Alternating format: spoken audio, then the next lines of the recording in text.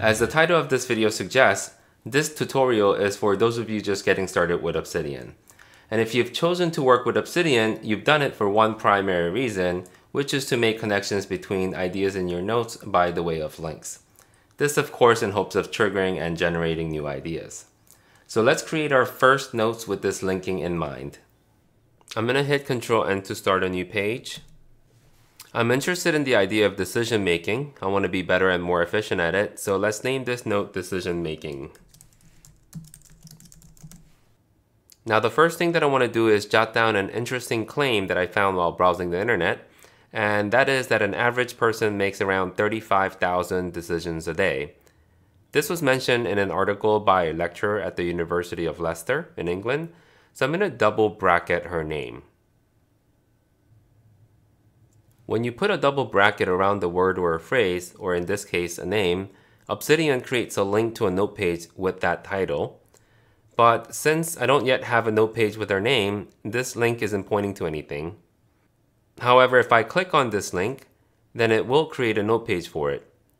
Now, I can include a little note about who she is, and in the future, if I come across other works by her and make notes on it, I can link back to this page. For example, let's say it's three months later and I'm making a note about persuasion and I come across an article about the persuasive power of knowledge. And guess what? One of the authors for this article is Eva Krockow.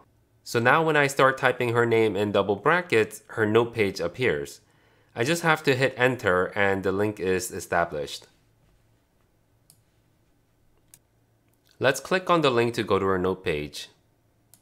If you expand the side panel here and make sure you have it selected on linked mentions, you see that there are two backlinks. This indicates that these two notes, the decision-making note and the persuasion note, both mention Eva Krockow in them. And of course, if you select one of these, it will take you to that note page. Let me share another example. Let's stay on this page for decision making here and continue making additional notes on it.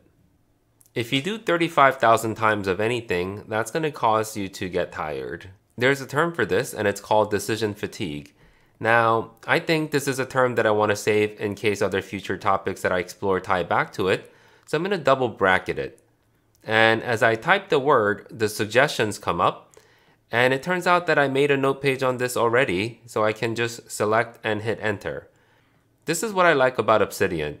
It really helps us to make connections to ideas that were previously captured so that we can build on them.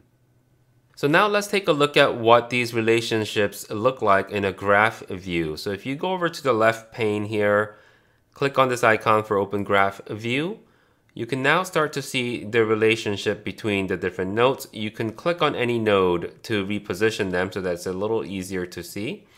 And for me, I'm seeing a pattern emerge, right? So decision making seems to be sort of where the other notes are gravitating towards. And as you hover your cursor over the different note, you can see the direct relationships appear. And where you have a note that's sort of grayed out here, like for example, this one that says knowledge, this is where we have the word knowledge double bracketed, but the actual note hasn't been created yet.